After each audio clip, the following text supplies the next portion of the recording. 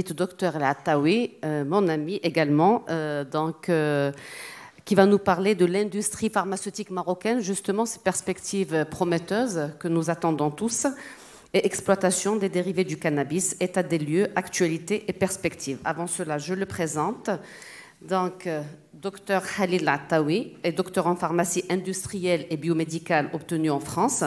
Après avoir débuté sa carrière en tant que chef de projet dans les essais cliniques au sein du département médical VIH de Roche-France, il a rejoint Roche-Maroc fin des années 90 et a depuis passé 25 ans d'expérience à des postes de direction dans des entreprises pharmaceutiques au Maroc. Il a développé des compétences transversales dans l'industrie pharmaceutique à différents postes avant d'être nommé directeur général et pharmacien responsable depuis 2006. Il a dirigé la construction de trois installations industrielles, de fabrication de médicaments oncologiques pour la première fois au Maroc et un projet de dispositifs médicaux pendant la crise Covid. Il est actuellement directeur général adjoint et pharmacien responsable d'Access Pharma, la filiale de Sotema dédiée aux produits d'oncologie. À toi la parole. Merci Léla, merci, bonjour à tous. Euh, c'est une présentation que j'ai essayé d'imaginer. Euh, afin de répondre un peu aux questionnements que peuvent avoir les confrères pharmaciens, euh, officinaux, mais pas que, euh, et tous ceux qui, euh, de près ou de loin, auront à, intervenir dans cet écosystème pharmaceutique. Donc après une introduction, les aspects réglementaires, je vais parler aussi des aspects thérapeutiques, pharmacologiques, pharmacocinétiques, pour que vous commenciez à vous familiariser avec ces produits, parce qu'il va falloir après les gérer. Vous aurez des patients devant vous, vous aurez des médecins derrière vous et aussi euh, l'aspect pharmaco-économique et puis quelques perspectives que je vais partager avec vous. Et euh, je suis particulièrement fier de travailler sur ce sujet euh, en tant que responsable projet dans le groupe Sotema. Et nous sommes sur ce sujet depuis maintenant presque deux ans avec notre présidente, Lemie Tsezi, qui nous a fait le plaisir d'être avec nous aujourd'hui. donc en introduction, tout à l'heure, vous avez parlé de la pharmacopée. Et je voulais quand même préciser que la tendance de la prohibition du cannabis en tant que plante a commencé dans le XXe siècle seulement, et que la France, pour des raisons que j'ignore précisément, a supprimé la pharmacopée, enfin la monographie euh, du cannabis dans sa pharmacopée en 1953. L'année suivante, euh, elle a aussi euh, été derrière la prohibition du cannabis au Maroc, qui était encore sous protectorat. Et donc ce fameux Daher qui été publié en 1954 interdisait euh, culture, développement, etc. Mais permettait de faire de la recherche dans le cadre réglementé euh, de, ministère de la Santé et tout le reste. Malheureusement, il n'y a pas eu grand-chose parce que faire de la recherche quand on est isolé, ça ne marche pas. Euh, jusqu'en 2020, comme ça a été dit par M. Garouge, le cannabis était resté dans cette fameuse liste de de l'Union euh, européenne, enfin de, la, euh, de la Convention de Genève euh, des stupéfiants de 61. Et l'on est sorti, donc le cannabis en est sorti. Et ça veut dire quoi? Ça veut dire que on est en train de sortir le cannabis d'une plante drogue vers une plante médicinale. On, on, la sort. Mais en fait, le terme n'est pas bon. C'est qu'on la remet là où elle devait toujours rester. Elle aurait dû rester depuis des millénaires, comme l'avait expliqué mon ami professeur Marzouki depuis euh, plusieurs siècles, deux siècles avant, Jésus-Christ. Donc euh, la France qui avait supprimé cette pharmacopée, euh, cette monographie pardon, de la pharmacopée, travaille aujourd'hui avec l'Union européenne pour en faire une nouvelle sous l'égide de l'Union européenne.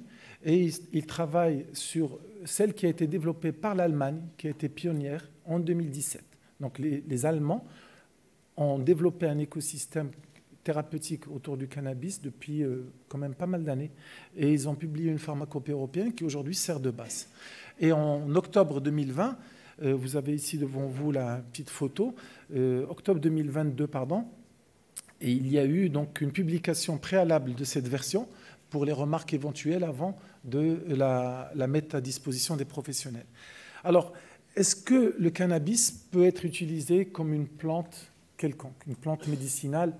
Euh, c'est très compliqué comme question. La plupart des systèmes réglementaires pharmaceutiques utilisent enfin, autorise l'utilisation des médicaments à base de plantes qui, mais sans répondre aux exigences d'une spécialité pharmaceutique proprement dit, qui nécessite à peu près 8-9 ans, voire 10 ans de développement. la procédure est simplifiée parce qu'elle est basée sur un usage traditionnel. Ça veut dire quoi? Ça veut dire que depuis des millénaires, l'être humain a utilisé la plante et on sait que son rapport bénéfice-risque est favorable. Et par conséquent, on l'autorise à être dans cette euh, pharmacopée. Et euh, cette pharmacopée décrit la plante, décrit comment on va la reconnaître, comment on va la, caractériser et tout le reste.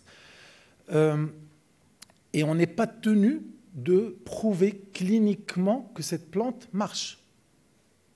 Donc ça, c'est la règle de base d'une plante médicinale. Sauf qu'il y a des gens qui, euh, qui sont contre et qui, qui, qui, sont, on va dire, des sceptiques qui vous disent ben, une plante, euh, c'est comme tout, elle doit aussi faire ses preuves et, montrer qu'elle est efficace parce qu'en l'absence de données scientifiques, comment je peux dire que ce produit marche dans telle ou telle indication? Et aujourd'hui, il y a un foisonnement de produits à base de cannabis, surtout CBD, où on prétend que c'est efficace dans telle ou telle indication euh, sans qu'on apporte la preuve pour. Euh, donc en dehors de l'usage médical, le cannabis reste quand même une plante stupéfiante, surtout si elle, contient des quantités importantes de THC. Donc ça complique beaucoup les choses. Et c'est pour ça que je voulais, lors de cette présentation, faire un peu la lumière sur ces, complications. Donc, euh, réglementer des produits à base de, de, cannabis comme plante va poser des problèmes, comme d'abord caractériser, normaliser, mais aussi évaluer la stabilité de ces produits. Quand vous prenez une plante euh, séchée, euh, il faut étudier de combien de temps elle n'est pas utilisable. Quand on achète chez les euh, des plantes pour nous, quand on a mal, quand on a froid, quand on tousse, on n'a aucune indication. On ne sait pas depuis quand elle était stockée chez les chèvres et on l'utilise quand même. Mais bon, les plus futés, ils, ils le font eux-mêmes dans leur jardin ou s'assurent de l'origine fraîche. Euh, s'assurer que les produits à base d'herbe aussi ne contiennent pas de contaminants ou ne contiennent pas des produits qui peuvent fausser aussi euh, la composition. Donc, l'aspect réglementaire est très très important. Monsieur le Grouja en a parlé tout à l'heure. Heureusement, le Maroc a pris un peu le train en marche, qui a démarré quand même. Nos amis, je crois qu'il y a des amis canadiens qui sont là euh, depuis pas mal de temps. Nous, on est quand même presque avant-gardiste hein, dans, le périmètre. Et en 2021, cette loi a été suivie par les décrets, mais aussi par les arrêtés qui ont été publiés euh, en, mai 2022. Ces arrêtés qui décrivent avec précision le comment et du pourquoi. Euh, J'essaie de résumer pour que ceux qui n'ont pas planché sur ça comprennent un peu. En bref, ce que dit la loi marocaine, c'est que tout ce qui est supérieur à 1% de THC rentre sous le contrôle pharmaceutique. J'aime pas dire le monopole, mais rentre sous la responsabilité, parce que ce n'est pas du, du monopole, c'est une responsabilité. C'est-à-dire tout ce que ça sous-entend comme euh, responsabilité en termes de sécurité, en termes de traçabilité, en termes d'efficacité, d'innocuité, et puis de protection non seulement de l'environnement, aussi du patient. Et ça, c'est une responsabilité très très importante. Par contre, tout ce qui est inférieur à 1% de THC, ben, c'est euh, normalement euh, des compléments alimentaires qui peuvent être processés par des industries de la cosmétique ou des, compléments alimentaires ou autres. Mais tout ça va être sous l'égide de l'Agence nationale pour le cannabis, l'ANRAC, le ministère de la Santé et de la DMP, qui va autoriser aussi, hein, qui va donner des AMM, qui va autoriser des essais cliniques et qui va aussi avoir la responsabilité de mettre en place un système de pharmacovigilance. Parce qu'encore, on sait très peu de choses sur cette plante et sur ses utilisations, parce que c'est assez récent, comme l'a dit mon ami Meli. Et puis l'ANSA, parce que l'ANSA, dès qu'il y a du complément alimentaire, elle rentre en jeu. Et c'est tant mieux, parce que l'Europe a mis du temps à comprendre que le CBD doit aussi être contrôlé par l'équivalent de l'ANSA en Europe. Et ils ont publié récemment des lois pour ça. Donc je me suis amusé à regarder notre Bible, qui est euh, la, la, loi 1704, et je me suis dit, où est-ce que on peut situer le cannabis et ses dérivés dans la 1704. Et j'ai tout trouvé dans l'article 2. Parce que dans l'article 2, sont considérés comme des médicaments, des préparations magistrales, ben, dans 80% des pays aujourd'hui, le cannabis est délivré sous forme magistrale. Le médecin définit la proportion CBD-THC que le patient doit recevoir pendant combien de temps, et le pharmacien prépare ces produits à ces, ordonnances telles que le médecin l'a demandé.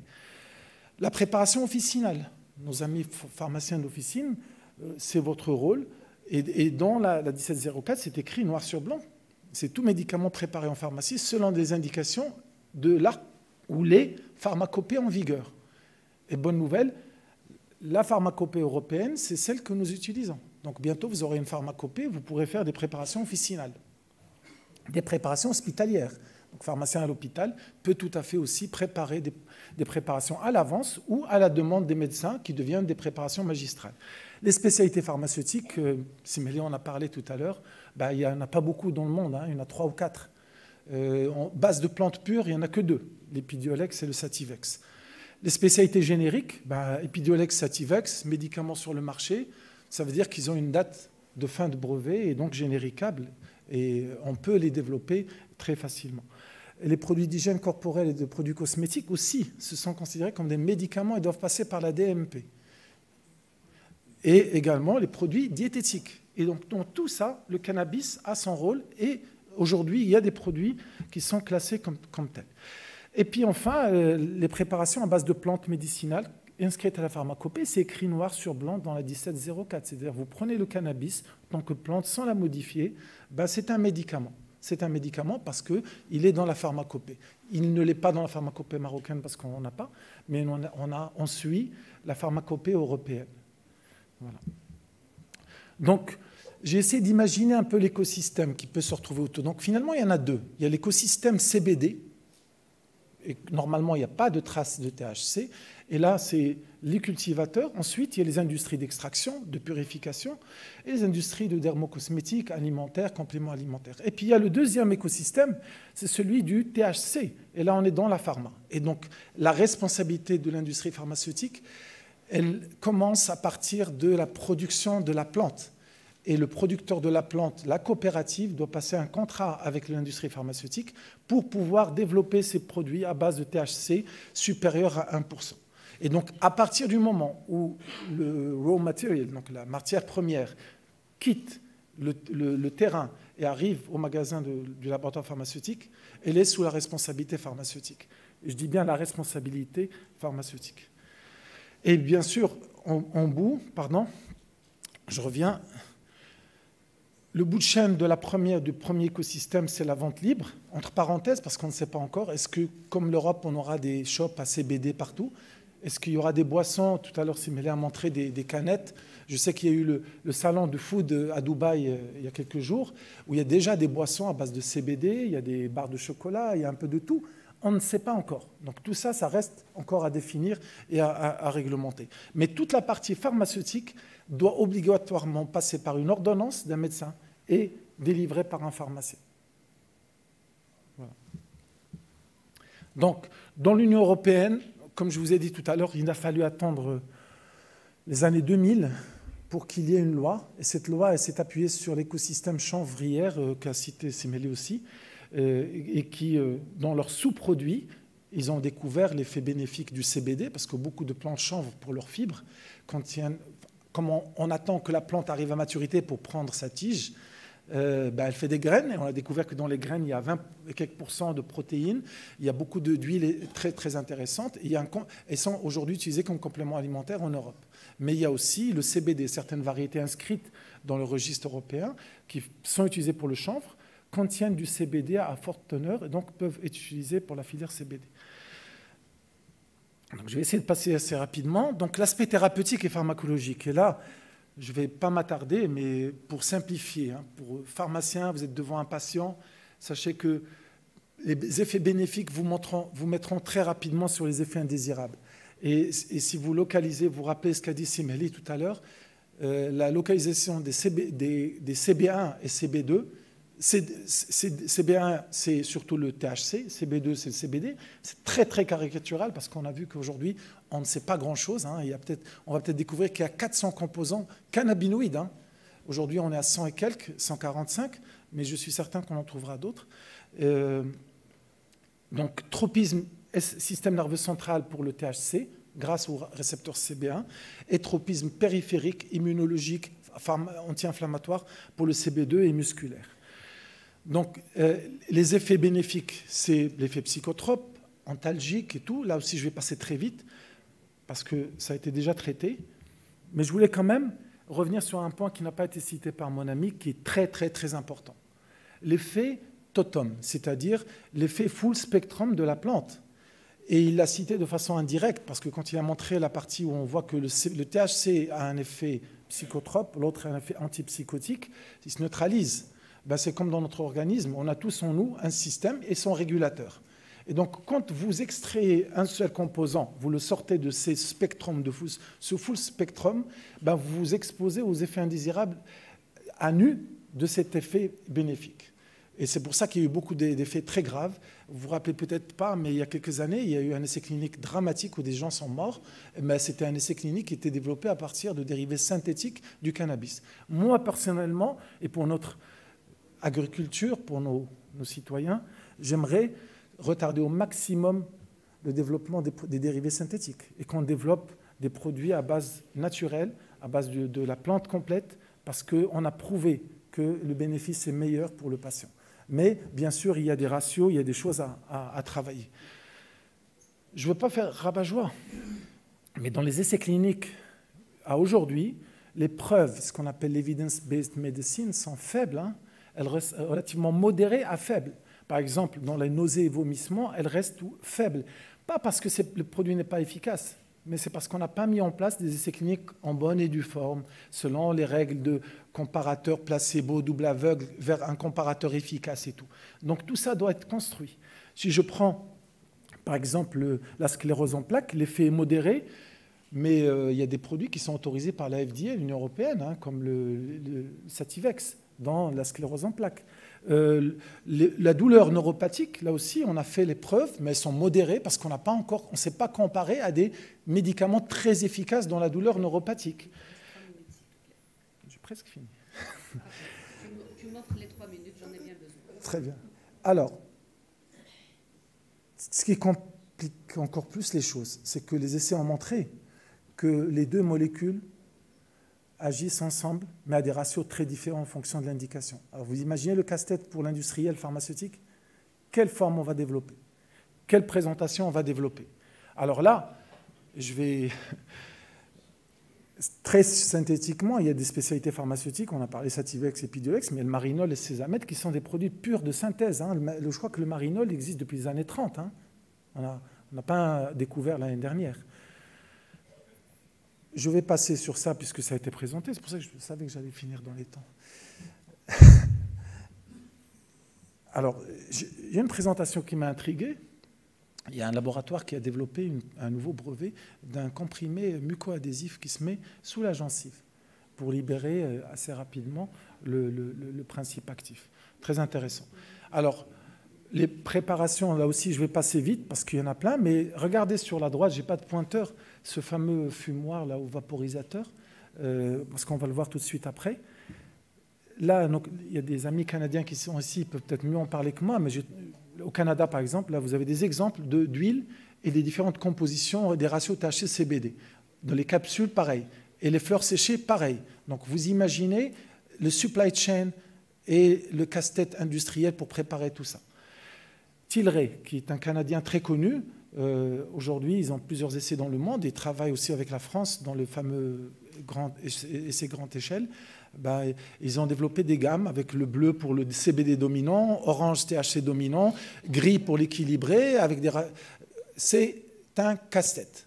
C'est un casse-tête. On est au début d'une passionnante histoire et d'un passionnant projet pour le Maroc et on doit juste travailler. Alors la fleur, c'est très intéressant. Vous imaginez un pharmacien qui a des petits sachets avec la fleur, le patient arrive, vous lui donnez la fleur, il va chez lui, il est en train de trembler, il va casser la fleur en 5, en 4, en 3 pour, euh, pour le fumer dans un vaporisateur. Non, il y a des industries qui ont déjà travaillé sur ça. Aujourd'hui, ils font des, des, des, comprimés compressés à base de broyats de fleurs différentes, une avec un taux élevé, l'autre avec un taux faible. Ben, ils, ils vont trouver le bon taux au milieu, ils vont comprimer, et ça, ils vont l'introduire dans ce dispositif que vous avez vu tout à l'heure, que moi, je, ne sponsoriserai pas, parce que vous savez tous que fumer tue, comme disent les, euh, les boîtes de... Alors, très intéressant et ça me rassure dans ma conviction. Finalement, tu me donnes aucune minute et il te reste une minute. C'est terminé. L'Allemagne, qui est le marché le plus mature, sont passés de, en 2018, tu m'as pris 30 secondes, de 2018 en 2020, ils sont passés de 80% d'utilisation de la fleur totale à aujourd'hui 43%. C'est-à-dire que si je trace une courbe, dans 4-5 ans, ça sera peut-être 25%, ça le restera pour longtemps. Par contre, ce qui s'est développé en orange, enfin en mauve, c'est les, extraits. Et en bleu, ce sont les préparations pharmaceutiques. Donc c'est celles-là qui vont prendre le devant et qui vont constituer l'avenir. Alors, je passe rapidement. Ah oui, ça c'est intéressant pour vous pharmaciens. Sachez que les laboratoires pharmaceutiques, quand ils ont des produits qui peuvent être distribués par les canaux pharmaceutiques et non pharmaceutiques, ben, qu'est-ce qu'ils font? Ils font des gammes différentes. Et là, par exemple, celui-là, il a une gamme euh, Leaf Pro euh, pour les pharmaciens et une gamme Leaf basique pour euh, les grandes surfaces. Le même produit. D'accord? Donc ça, c'est des choix marketing et stratégiques. La pharmacocinétique, je vais passer rapidement dessus, juste pour vous dire que le, la fumée provoque un pic, comme vous le voyez euh, à droite là-bas, très élevé, un effet est très flush et ça redescend très vite. Par contre, la, prise orale donne un effet plus tardif, mais qui reste pendant plus longtemps. Donc ça signifie qu'en fonction de ce qu'on veut soulager, ben, il va falloir qu'on prescrive l'un ou l'autre. Mais bon, fumer doit être une alternative. Aujourd'hui, il y a les sublinguales, il y a des voies sublinguales comme par exemple Sativex, c'est une suspension sublinguale. Et vous savez que le sublingual, c'est très rapide. En 15 minutes, on a l'effet thérapeutique. Je vais passer sur les effets indésirables.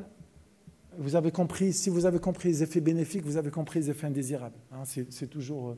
Euh, je vais passer sur un point très important, c'est les interactions médicamenteuses. Sachez que le CBD est un puissant inhibiteur de cytochrome P450, et donc ce n'est pas anodin. Et qui dit inhibiteur dit que quand vous utilisez des médicaments qui passent par ce cytochrome, vous allez augmenter sa concentration plasmatique, vous avez un effet toxique. Donc il faut, il faut, faire très attention en tant que pharmacien. Et donc, en conclusion, euh, ça, je vais passer ça, c'est le genre d'ordonnance hein, que j'ai vu euh, Canada. Ça, c'est une ordonnance australienne électronique où on prescrit donc le produit, son, dosage, la quantité, la voie, etc. Et euh, je vais rapidement parler des perspectives en chiffres. C'est juste pour vous donner un chiffre, mais je pense qu'il ne faut pas le regarder parce que je vais conclure sur une note très importante. On estime à 44 milliards d'euros le marché du cannabis médical dans le monde en 2025, le Maroc peut aspirer à, prendre des parts de marché dans ce, marché, mais à une condition, c'est qu'on soit réellement dans le niveau européen et FDA-based euh, médecine. Donc, ça, c'est ma dernière slide. Je voulais conclure là-dessus. Nous avons des ressources naturelles pour la première fois dans la santé, à, large échelle. Hein. Nous, avons le phosphate, bien sûr, mais dans la santé, c'est la première fois. Aujourd'hui, 100% de composants qu'on utilise pour fabriquer nos médicaments sont importés.